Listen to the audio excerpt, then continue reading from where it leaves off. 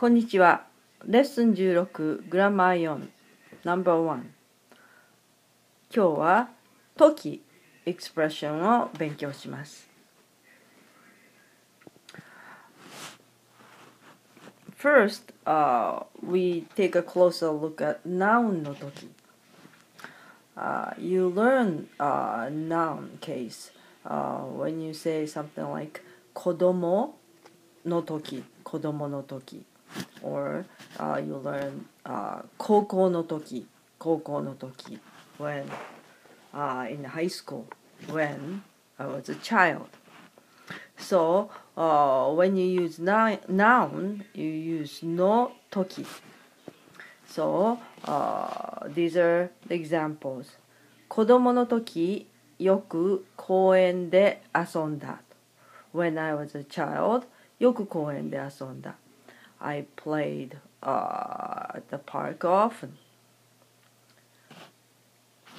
So kodomo is noun and no and toki when time when. A second example, party no toki, party no toki when we have a party. party noun and then no toki たくさんお酒を飲む。I drink a lot of alcohol.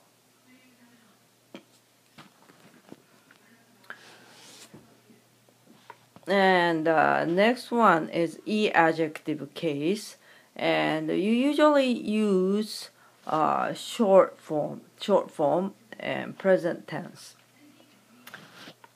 Present. So uh, you use like this.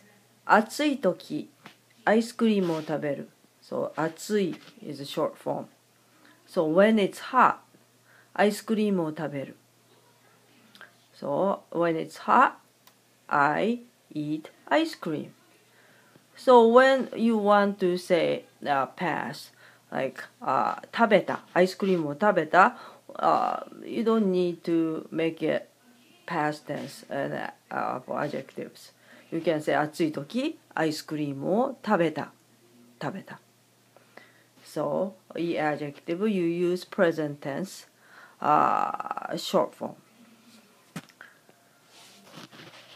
These are more uh, examples 寂しい時友達に電話した寂しい時友達に電話した This is past tense but、uh, this is 寂しい時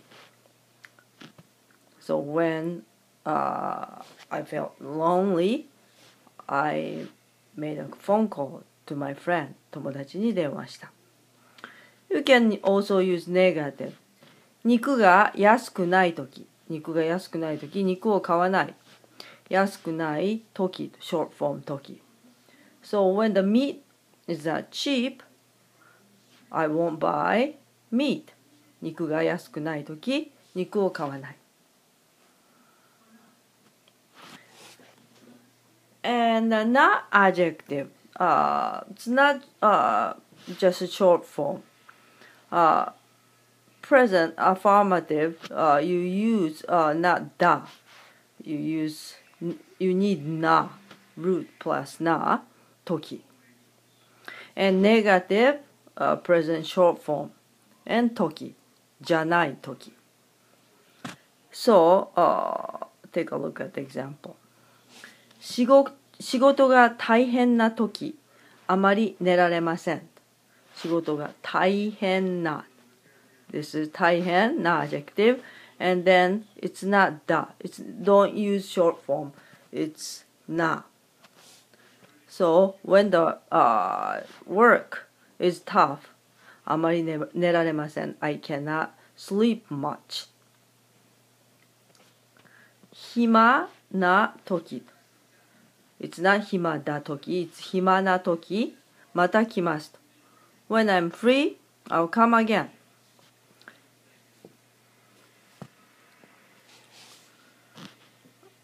And this is a negative case. You need short form. 量が静かじゃないとき、図書館で勉強します。past, uh, present tense, short form. 量が、量 is a dormitory. 静かじゃないとき。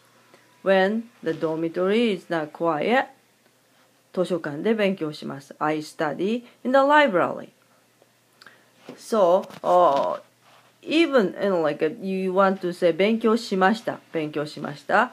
You can still use uh, present tense here. Present tense here. そう、寮が静かじゃないとき、図書館で勉強しました。is grammatically correct sentence. Uh, however, uh, there are some cases of use past tense. Uh, toki.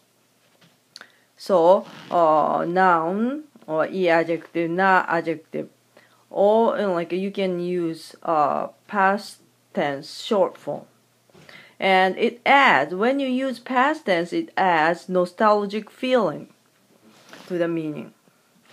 So, uh, instead of that saying 子供の時 you say 子供だった時子供だった It's short form 時アメリカに来た So when I was a child I came to the United States and this sentence has a uh, nostalgic uh, feeling uh, sense of feeling to it 元気だった時よくジョギングをした。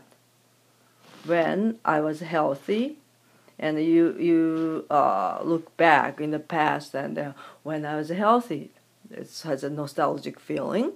よくジョギングをした。I used to jog often. 私が悲しかった時、悲しかった時、よく父に電話した。So, when I felt sad, よく父に電話した。I often uh, made a phone call to my father. Uh, so, uh, it's possible uh, you can use uh, past tense, but uh, it's a, a little bit a different meaning to it. That's all for today. Bye.